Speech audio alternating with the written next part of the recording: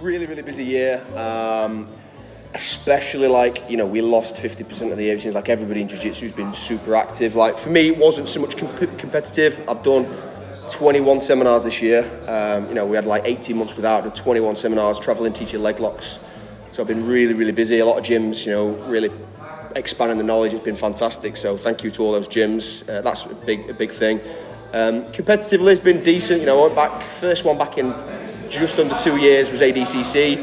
Uh, three submission wins there. Felt a little bit rusty, but I did good. Um, you know, happy to get a clean sweep of subs, um, and then fortunate enough to get a pick for Polaris. And you know, I knew it was going to be a really, really tough match with Tom Barlow. He's an absolute killer, easily by far the best brown belt in the country by a mile. You know, if, if you got that accolade, you easily, you know, black belt level and everything. So really tough match, very close decision win for me. Uh, I think probably edged it the fact that I had a few more submission attempts, um, but he positionally was very, very strong. So look, I'm happy. Uh, you know, really, really happy with the year. Um, I think I think it's good to see that you know, despite COVID lockdowns and all that stuff, giving people the impetus to really push on and things like that now.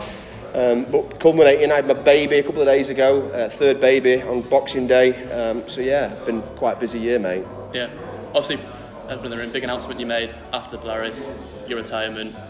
Is that end of you compete professionally then? At, at least professionally, I think so. Yeah. Look, for me, it's always been about how good can I be, right? I didn't, you know, when I first started, like maybe oh, I'd like to win a regional comp. You know, I mean, uh, like I've won Europeans at Masters. I've got submission wins and wins on Polaris, and that to me is the pinnacle. You know, what more really is the, you know, in terms of bettering myself, is it is it reasonable to expect me to get like win world championships or anything like that? Not really, because look, I work a full time job. I've got a, a, young family and I've got a gym and, and responsibility teaching here, and I feel like the last couple of performances I've hit where you know I've gotten as good as I can be. Now I feel like with the growing responsibilities, I will only decline somewhat. You know what I mean? Now, and I'm happy with that. You know, the first time in jiu-jitsu, I felt gratified and get to a point where I've ticked that box that I've gotten, you know, as good as I can, and I feel like I can still improve, and I'm trying training really, really hard now. Um, but it's just very difficult. You know, you're going to get matched up against 20 year olds, 25 year olds that are like full time athletes, which have a fraction of the responsibilities and the stresses I do. So I don't, you know, I don't need to do it for me anymore. I just think I'm, you know, the professional fights are just I think they're definitely done. I think I'll still compete. I think I'll do regional comps and stuff like that because you know you, the fire to compete never goes away. But I don't really need to be taking matches now at the very highest levels of the sport because I've, I've filled that bucket inside my heart. I think. Yeah, you mentioned a certain competitor tempting you back. Is that, is that still true? Yeah, look, if the AJ match came about, I think I'd probably get back on the on the bike for that. Look, there's we've had a lot of banter back and forth. You know, whether we call it shit talking or whatever you know, that's a match I feel very passionate about. You know, I think so. It wouldn't be difficult to, to get back on the horse and try that one. Um, you know, he beat me convincingly the first time. Like, make no mistake. You know, there's all the discussion. Yeah, it was meant to be no gi. All this. I was like to cut a lot away. All this kind of shit.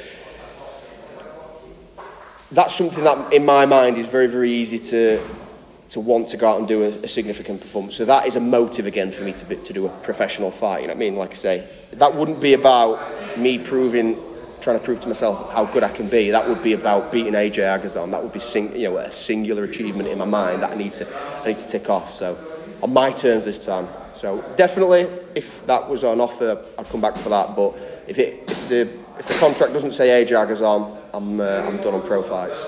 Yeah what does 2022 look like for a group of jiu-jitsu? So look, you know what we've managed. We were only a really small team. You know, we before COVID we were like 20 members. We're up to like 40 members now on the back of COVID. We've doubled in size. You know, Goole's a very small town. So only like 18,000 people live here. So we're never going to be a massive gym. But it's continued to build the gym, continue to build. Um, you know, good competitors that can get up to the elite level. You see like Ollie Bates coming through now on the highest levels, um, show-wise. Amazing for for me to produce people like that. And I just want to continue to produce guys like that. Seminars, I want to really keep focusing on teaching. Um, something I'm enjoying a lot is innovating leg locks and showing new gyms, new games, stuff like that. But then, most importantly, being a good dad, mate. Um, you know, my, my son's growing up. He's really getting into rough and tumble. But I've got two young daughters now, and that's my primary motive is being a good dad. So that's what I'm trying to spend a lot more time at home than I did this year, and uh, spend a lot of time being a dad. Yeah congratulations on the new kid, mate. Have you have a good new year. Thank you, brother.